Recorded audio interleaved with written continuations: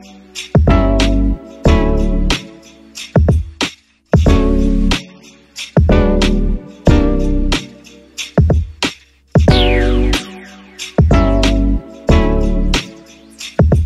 what's up? Welcome to the VBD podcast. We got Spin the Spiral here.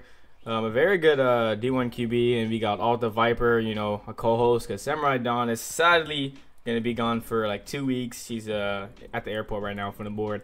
So uh, you can go ahead and introduce yourself if you want, Spiral. Hey guys, I'm uh, Spin the Spiral. I'm sure everyone already knows me. Uh, I've been playing for a long time. I get called Unk now. Um, what's up, guys? All right.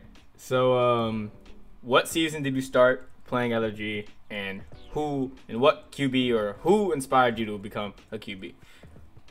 So I've been playing side leagues for a long time in uh, 2020, 2021, and then it was season seven when I first played an LFG game.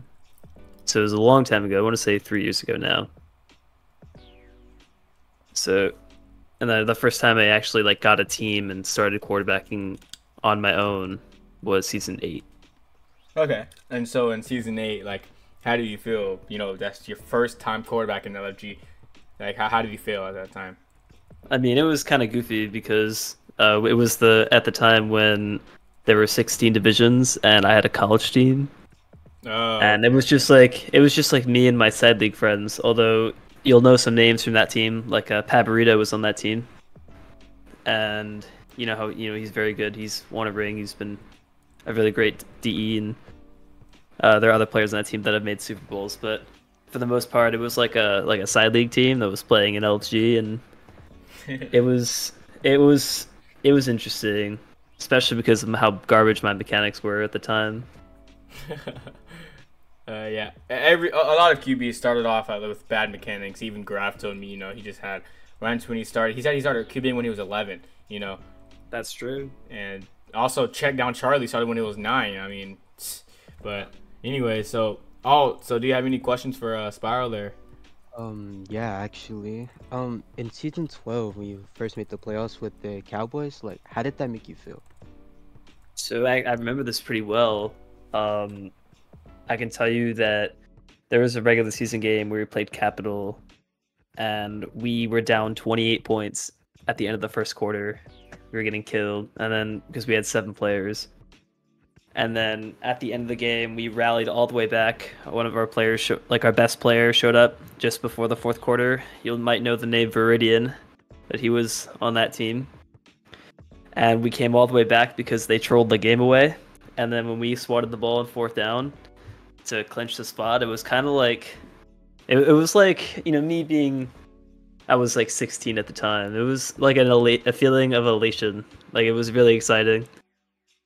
And I know it sounds stupid now, but uh, if you ask anyone about their first time making the playoffs or any quarterback really being a new quarterback or having been really bad for a while, it's it's pretty cool to have known that you improved enough to make it.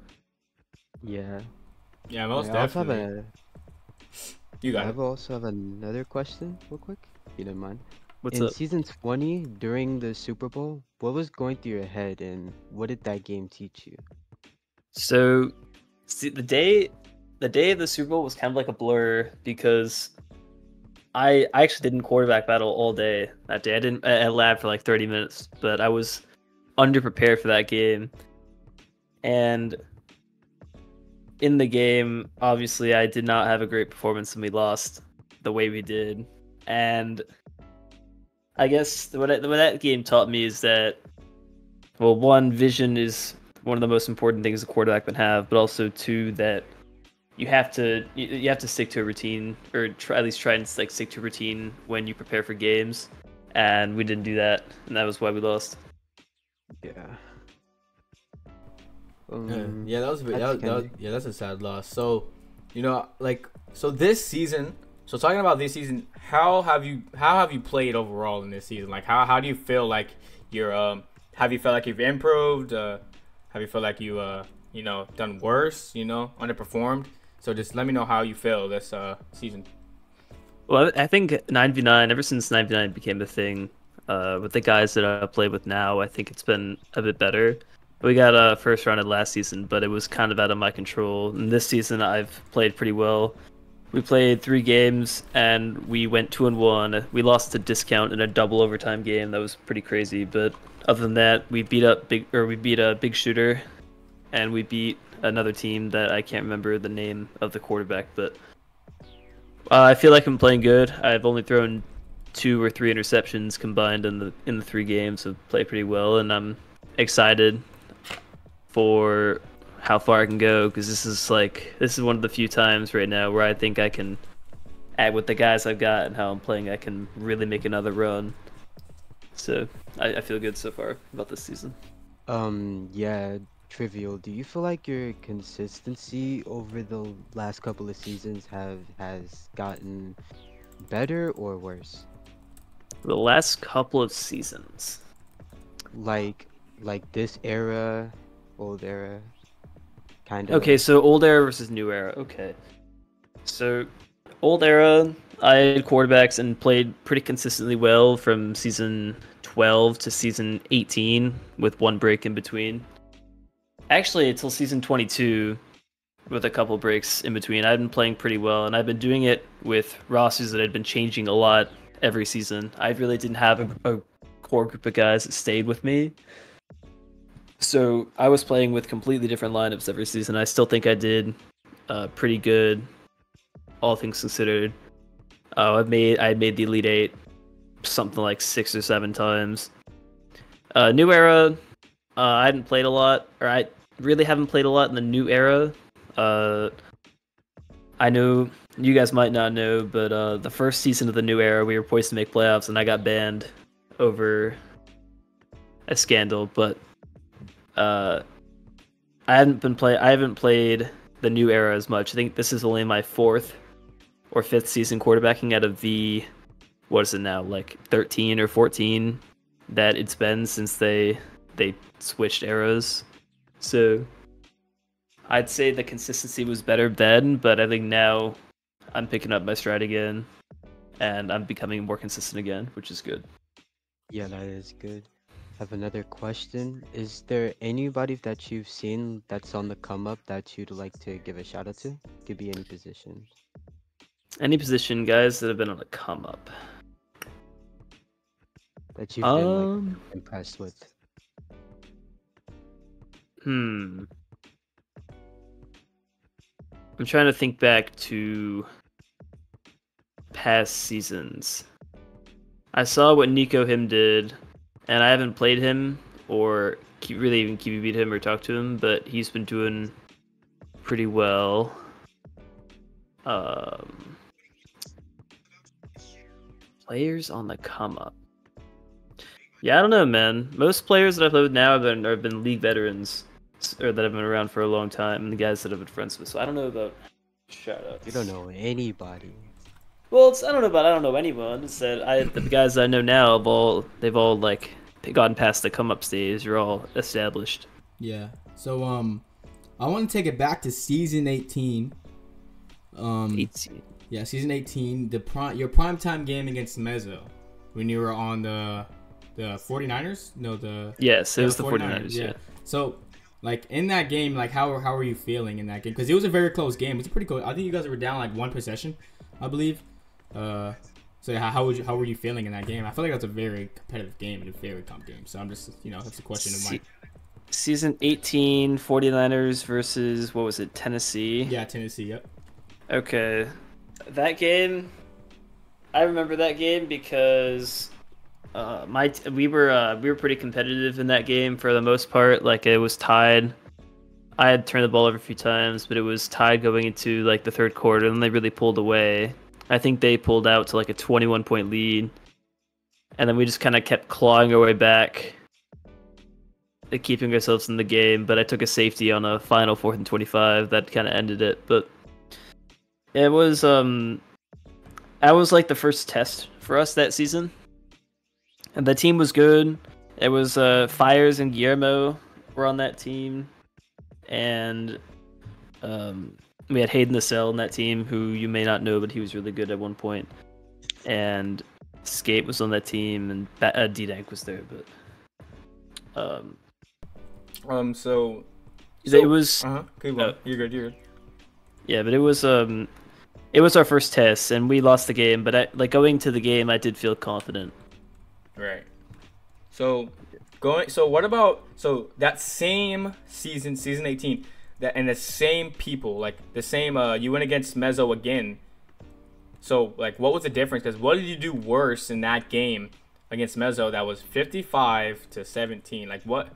Like what did you guys do worse? Because uh, there's two games which is very two different scores. It was wide 55-17, and then the the first one was 56 to 49. So like, what did you do differently in the second game? I think our I think our team looked a little different that season or that uh that second game. I know that um because this is kind of what happens with me is teams shift for me all the time mid season. People leave, people come in. So our team looked a lot different, and I think we really that game was we were still working out a lot of the kinks. Like uh, Brian had left the team at that point. Um, we had brought in Tripwire and Epic Fortnite gamer, who you guys know as Merce now, but he was just brought in. He was just learning the game, so we had a completely different look on the team, and we were still working on that. So really, it was the it was the uh, Hayden the Cell wasn't there anymore, so he it was the chemistry issues and like the working out the issues in that team, and then I just had a bad game against that team. And when you're playing that group, uh, you can't have bad games and expect to win. So that was what made it a 40 point game. Is it was just an off game. Okay, so this this is my last question, unless oh it has another question. Uh, now you can go ahead. All right, so you're good. You're done. Okay. Yeah, I'm done. So, my last question is just about uh, last season, um, the primetime game against uh, D Dank. So I feel like that was a very calm game. You know, it was very close. Did you feel like in those uh, it, I just want to know what happened in those ending moments because I really don't remember. Uh, unless you don't remember at all, but So that was a game that decided who made the playoffs. So it was our both of our last games of the season, and we were very like it was winner winner moves to the playoffs and loses out.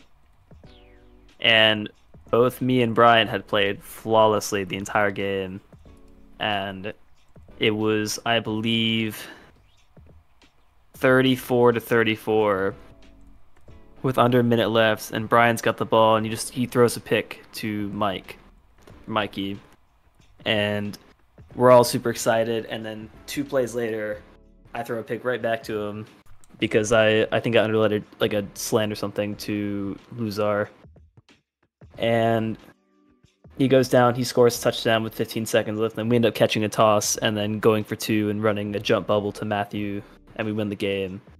So we were obviously very excited, but we felt at, after that game that we were kind of bailed out because of how the game ended, how we kind of had it after we got the ball and really just gave it right back to him.